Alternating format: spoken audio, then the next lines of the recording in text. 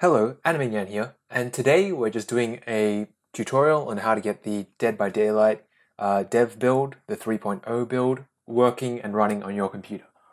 So uh, generously gave me permission uh, to make a tutorial for the tool he created, um, uh, the fix he created. So credits to Shmoul and Schinsly uh, for writing the tutorials.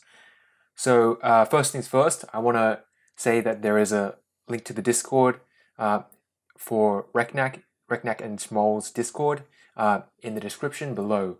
So on this Discord, you'll find the tutorials um, that Schinsly and Shmoul have written.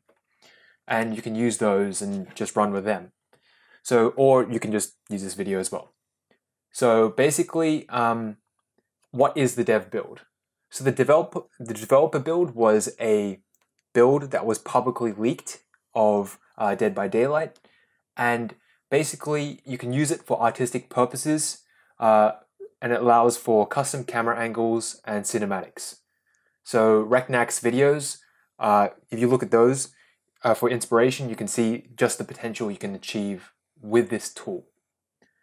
Okay, and you can also do some modding uh, in Dead by Daylight um, by replacing textures, models, and animations.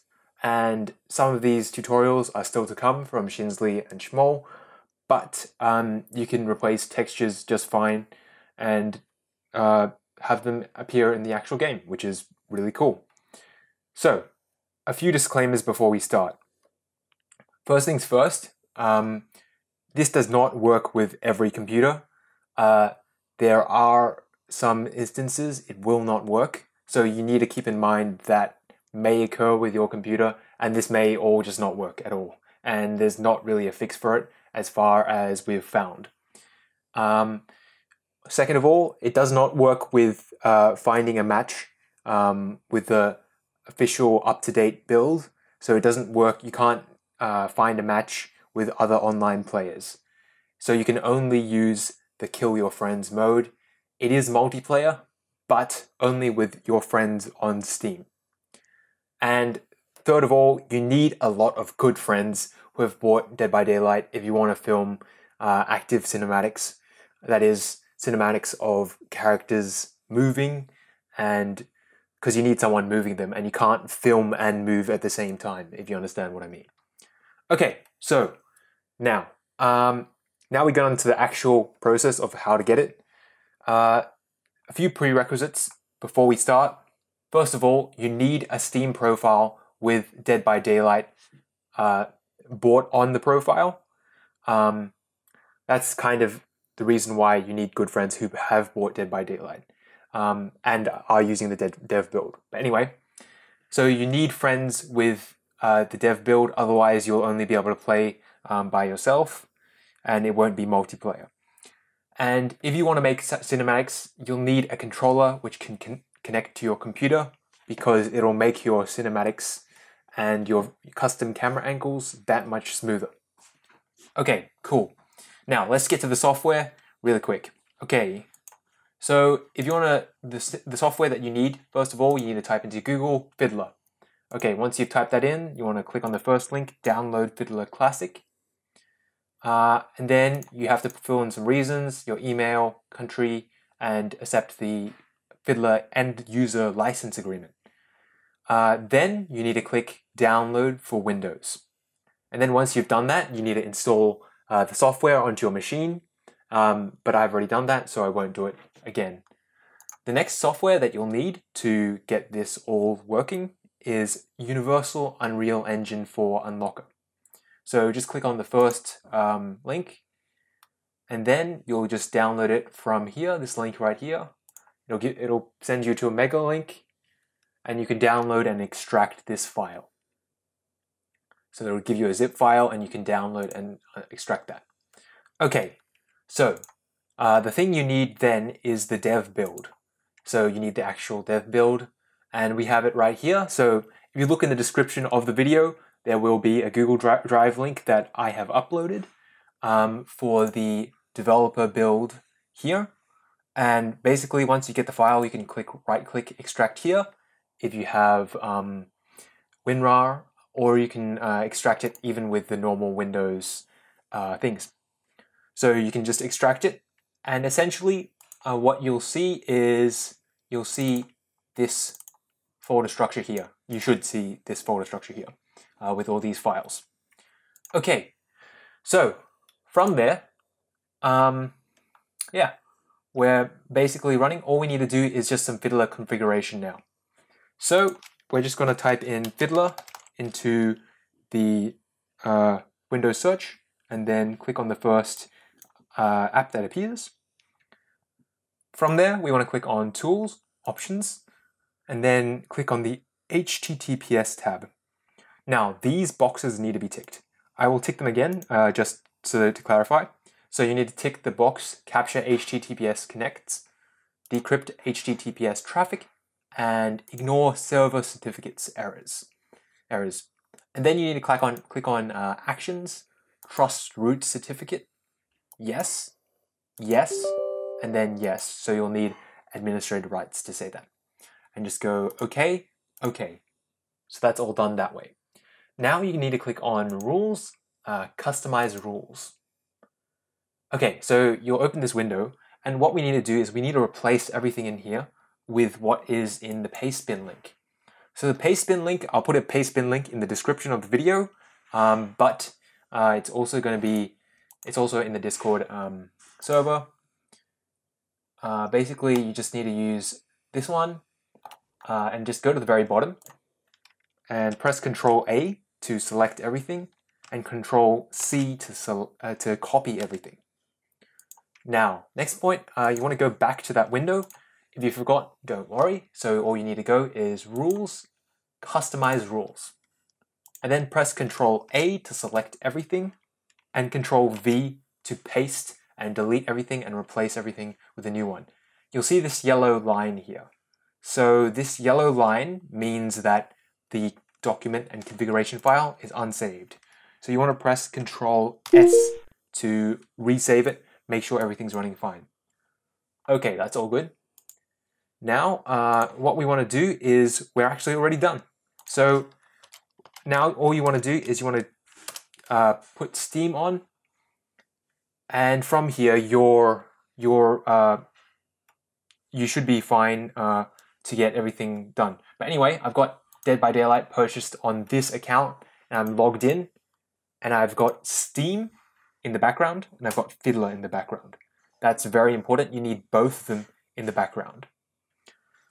Okay, so next I will just uh, double click on this file called Dead by Daylight with basic commands.bat. I will double click on it. And this is launching it with just some console commands. You can just type them in, in inside the game, but um, Shmoul has made this launcher just for your um, convenience. So these are basic commands that make uh, the screen, like make some of the debug messages not appear, and it just makes it your life easier, I guess. Now we're just going to click into it just to log in and every, everything. And yeah, so if you can see this, um, you'll be fine. Uh, you should also be able to shift tab um, shift tab meaning uh, just to show that your uh, Steam overlay is working. If your Steam overlay is not working, uh, there is probably a problem with your process and just ask in the help channel of the Discord server and um, a lot of people have got it working there so they will be able to help. Okay, so uh, now all we want to do is we want to we want to go to the Universal Engine Unreal Engine Unlocker DVD 1.93. So that's that'll be the folder that you down the downloaded and unzipped. So I will open it now. So you'll get this UUU um, client.exe and we're going to select a process by clicking select and dead by daylight.exe. So you want to put this on your actual dead by daylight.exe beware, do not run this. Uh, do not try to, to attach the process onto the live build because you can get banned via the easy anti-cheat. And plus, I don't even think you can attach it um, because it the easy anti-cheat disguises it. But anyway, uh, just don't do it. It'll get you banned. Um, anyway, so we've attached it. Now we want to click inject DLL. And we have this thing. So first thing that I usually do is I set the new resolution to set and I press set and it's 3840 times 2160, which is my screen size. Um, but there's a few tricks that I, there's one trick that I want to show you is you can actually put this resolution a little bit higher. So like to 3200 or I think 3000 works uh, from the previous value. And there we go. We have hidden the, the UI here. So this is a way to get cleaner um, screenshots and of the main menu kind of things. So what we want to do here is I want to press on uh, from here. You'll see that there is a key bindings and there's a key called enable disable camera. And so we want to press insert and now we can pretty much, yeah, we can, we can control the camera and we can, yeah, we can get some clean screenshots of the main menu of survivors sitting. And this also works in the loadout. I'll show you what I mean. I'll just set this back to my normal. So this also works in the play as survivor. Um, so I, I use this in my previous video to get a little bit more of a clean kind of thing. So this way I'm just going to go to maybe 7,000-ish. Hopefully my computer can handle it because sometimes your computer can't really handle it. Um, but yeah, so this is a little bit more clean. It gets rid of the right hand side. We haven't figured out how to get the rid of the left hand side just yet. Um, but yeah, uh, you can then click on insert and yeah, you've got your screen and you can get a little bit more of a clean kind of thing. You can get rid of that bottom overlay by also increasing the height uh, to maybe maybe 2500 I'd see. And yeah, you can see that we've got a little bit more of a clean thing and it is running a little bit slower.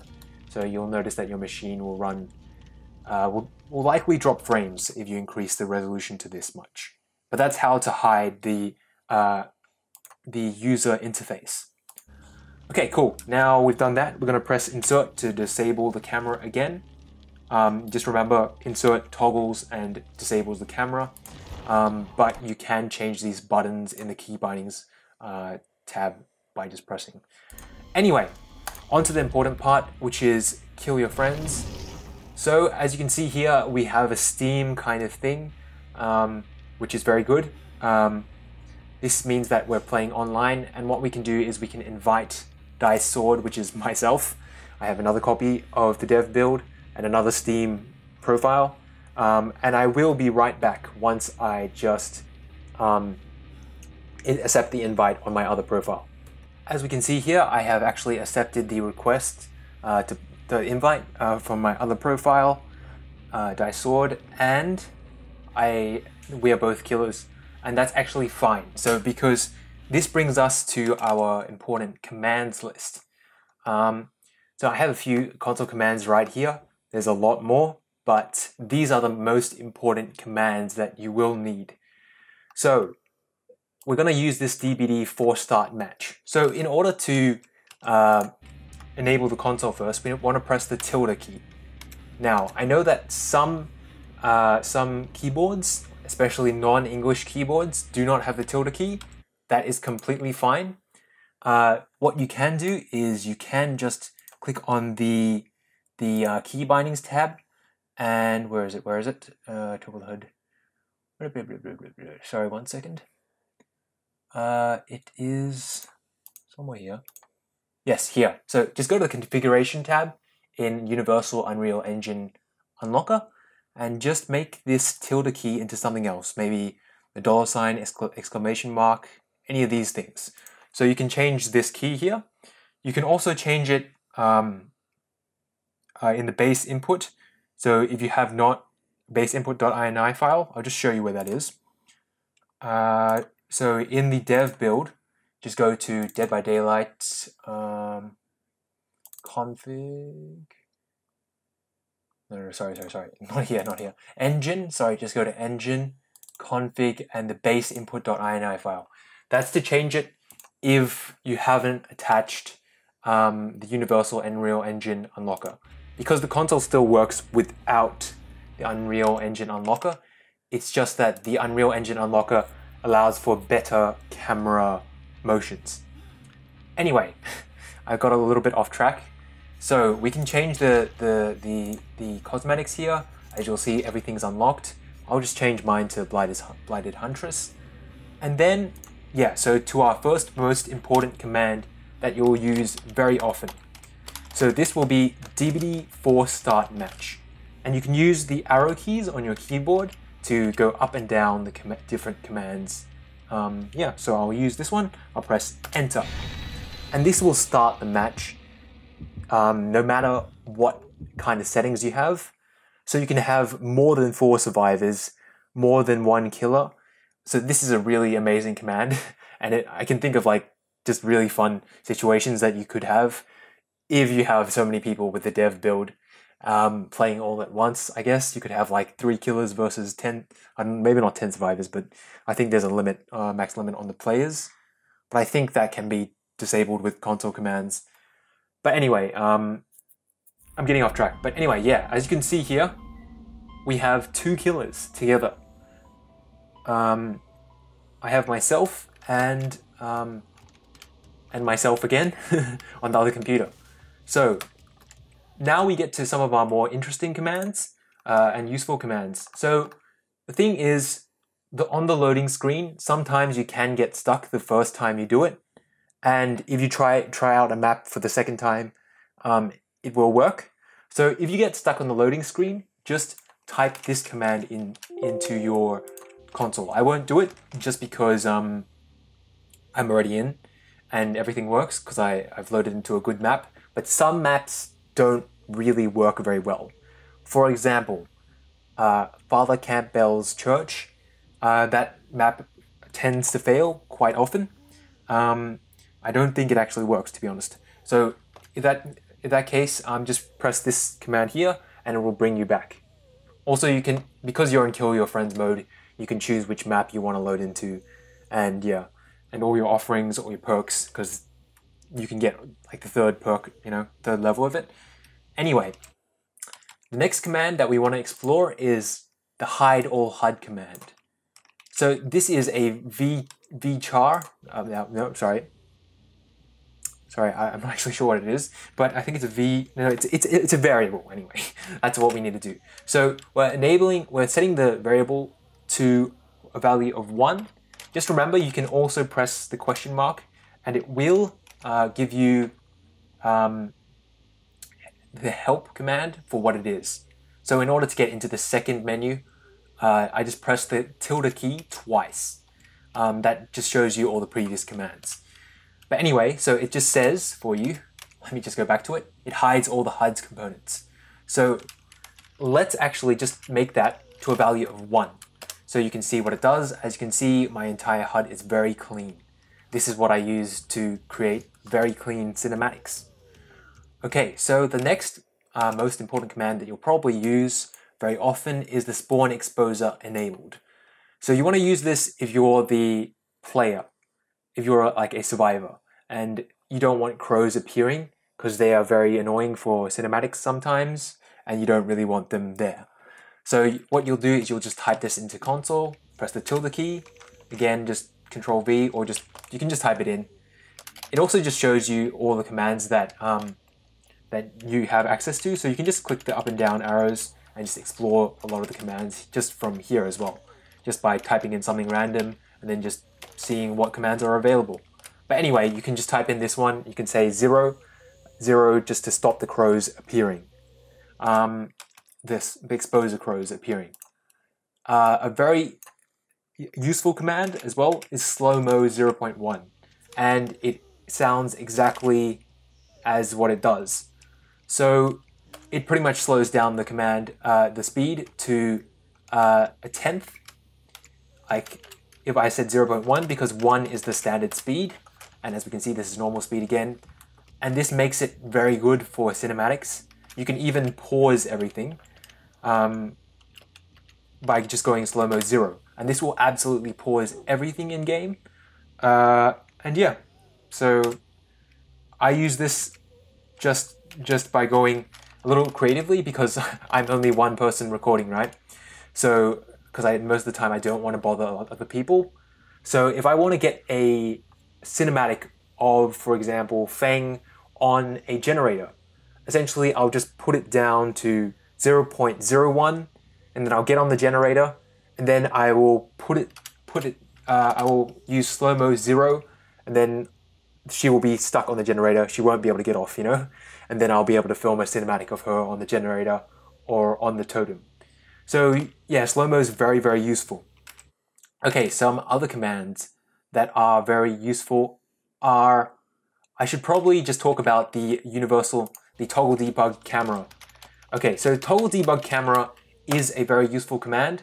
So essentially, it will get you out of um, of of of um, the normal view, and we will explain why Huntress is stuffed up in a second. But you can use it just to check like what a object is called. As you can see, it will say hit actor class, and that will tell you how to spawn that thing because it will tell you the name of that object. And if I wanted to spawn this, I can actually just go uh, DBD spawn, I think. What was it? I actually remember the command. but anyway, you can spawn like various things like hooks, um, pallets, lockers, just by looking them in the um, debug camera and seeing what their name is. And then you can just spawn them in. Uh, you can also look in the game files um, as you can see, the hit actor path to see what the name is in game. Okay, cool. So, but there is a, a certain problem with this, uh, with the debug camera, is it actually slows down, I think. Um, uh, if you press slow mo, like if you put 0.1, it will also slow the rotation of the camera, I believe.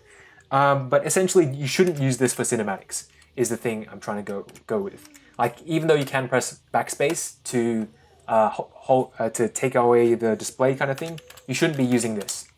If you want to take a cinematic, here's what you want to do. So you know how you've put in uh, Unreal Engine 4 Unlocker? Yeah, so so now you just want to press, like, because you've already um, injected the DLL, you can press Insert Now, and you can use this to take cinematics. Um, from here, you can also just slow down the the camera speed, the rotation speed in the options here. Like you can speed it up or slow it down. And you can just use controller to take some very, cinematic shots because this the controller will give you the most control over um, how the shots look. Um, I'm not using controller right now, I'm just using the keyboard, so my control is not that great. Uh, you can also use the 1 and 3 numpad key, keys to rotate the screen to get those weird um, tilt tilted shots, if you know what I mean. Okay, cool. And that's basically the lowdown on how to use the camera. Um, it's just a lot of experimentation, really. But just use a controller. Um, if you want to do zoom in shots, you can actually just start at the character and then zoom out.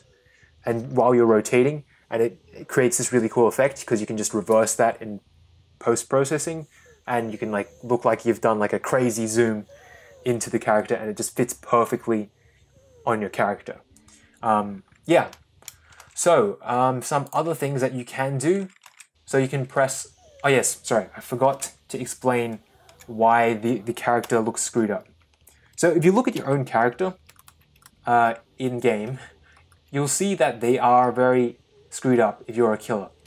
The reason why is because your camera is basically over over here-ish, or maybe a little bit higher.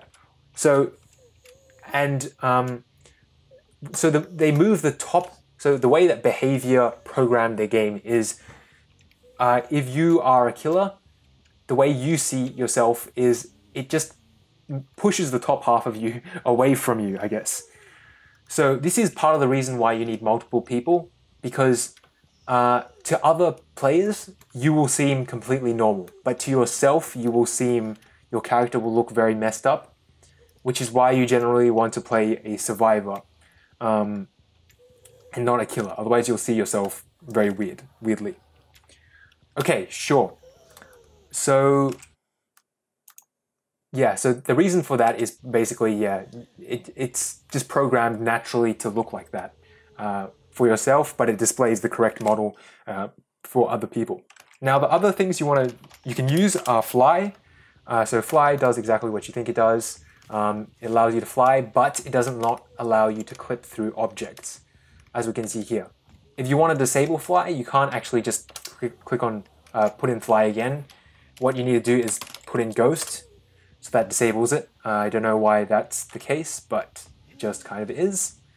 Um, you can also, um, if you're using controller, you can't go upwards, um, especially on a survivor as either. So you have to use Q and Z to go up and down inside uh, the ghost mode. So ghost, uh, as you can predict, it's the same as fly, but you can go inside uh, objects and clip through uh, things that you wouldn't normally be able to. Okay, so I'm just going to toggle it off by just putting in the ghost command again. And yep, as we can see, we went back to the ground. So that's cool if you want to go on top of a house or on top of something at the very top of the Temple of Purgation, you know, whatever you want to do, really. Okay, so some other commands, DBD add HP, so this does what you think it does. On a survivor, if you're injured, add HP or remove HP is what you think it does. Um, it just puts you back a health state, I guess. So toggle debug camera, I've talked about that. So set bind. So this is a very useful command that essentially it sets a specific key towards a command. Personally, I find not that much use for it. Like, but if you if you are using it, um, these commands very often, you could set bind uh, V to ghost, so every time you press V, instead you're actually just putting in the console command ghost. But I don't really find a use for it because I can just press the console and press up and down arrows to see my previous commands. And that will usually get me to the command I need. Uh, but if you want, you can set like a specific thing like adding HP or doing something else to a key, um, to a keyboard press. Okay, some other things like DBD option set resolution 125. So if you look in the menu right here in my settings, you'll see I'm actually at 100 uh, resolution. But I can actually change this because by default, Dead by Daylight only renders at a maximum of 1920 times 1080p. So it's just 1080p. So if you put this into console, uh, so it's a little weird the, the way it works because 125 isn't exactly 125 here. So if I put in a 125 um, what will it do? Can I have a look? It did not do anything. uh, wait, one second. Sorry. I'm just going to check. Settings. Yeah, so it goes to 172. You can see it's, it's kind of not really relational. So, um, yeah, so this one actually sets the resolution higher of textures and everything, but it makes your computer lag. So I would advise setting it to the highest number you can get, but not too high. So maybe for my computer, I would say like one, 110 or something. Uh, let me just check the percentage settings and 129. And as you can see, it's bigger than 100%, which is kind of weird. Um, so if you set like resolution in the Universal Unreal Unlocker, it doesn't actually set it above the 1920 times 1080p kind of thing. Okay, yep. Um, another thing to say, sorry, about this Unreal Engine Unlocker is you can also adjust the the movement here. And I set my movement to be really slow so then I can get some really cinematic shots. Okay, now a few other things. You can do DBD reset pallets. So I don't think it resets broken pallets, but it makes the pallets go back up. Um, you can also do something called uh, DBD list items. So this will list all the items uh, that you have. Wait, sorry, if you, if you have a look here, um, if I just close item here. So these are the items that you can spawn for both the killers, which are named as slashes in the files, and campers, which are known as survivors in the files. And you can kind of just do something really silly like this. Um, I'll put in a chainsaw. Chainsaw. Um, but this is how you know their names. Like you, you'll spawn item, and then you'll look at item slasher, uh, chainsaw. So this should spawn a chainsaw somewhere. Um, wait, let me just look at my HUD actually. Uh, DBD, let me unhide my HUD. Sorry, one second. So to unhide your HUD, just basically, let me just delete this command. So I'm just going to scroll through my previous ones, and I'm going to put this to 1 again. Um, whoops, what? Oh, zero, sorry. And yeah, it, it doesn't work on the, the Huntress because it's a little bit glitched, but on some killers you can basically use your chainsaw, use a chainsaw, or use some other, you can use the Huntress's hatchets, hatches, hatchets on the nurse or something. But on some killers it doesn't really work. Uh, the final thing that we'll just go over is you can also just like spawn survivors like this. Let me just check that this is the right spawn camper. Yeah, spawn camper by name, and you can uh, you'll have to put in their uh, in-game names, I think, but you can put in like three ashes or something. For example, if I want to spawn three ashes, but keep in mind these won't actually be like real life survivors. Like they won't move. You can't make them move or anything. Um, but you can just spawn survivors if you want to. And um, yeah. Okay, some other things. So I'm just going to down him. Uh, you can do is you can put in like infinite flashlight energy and you can allow killing. So I'll just put this one in just for show you how it works. So this is pretty much having a memento mori. Wait, what? Come on. Allow killing, sorry Allow killing. Not quite working. Uh, it doesn't matter. but you can you can like basically mess around. Um, there's if you look in the Discord channel, like uh, in the useful commands, you'll find a lot more information. And you can even go to the console usage for more information on how all these commands work. But you can really mess around and do pretty much whatever you want with the dev build. And I haven't even gotten into uh, changing textures or anything. So if you want to change textures or model models, please check out the Discord. Um, Schinsly has created uh, tutorials for how to do everything um, uh, based on uh, Shmoul's work. So uh, thank you to Schinsly and Schmoll. Uh, uh, full credit to them for this tutorial as well. Okay, so that's that's basically the lowdown on how to get everything working. So the problem is you, you'll need a lot of friends for this, if you see what I mean. Because um, if you want to make active shots of the nurse moving, you'll have to have one person on camera, one person actually doing the moving. Because you can't actually move while you are pressing insert and in the Unreal Engine unlocker. But uh, that's basically it from me. Um, sorry for the lengthy tutorial, but I wanted to get in detailed as possible. Um, get it, yeah, so that people understand how to make cinematics in DBD and how to get custom camera angles. So thank you for being here. You are my lifeblood. Anime Nyan out.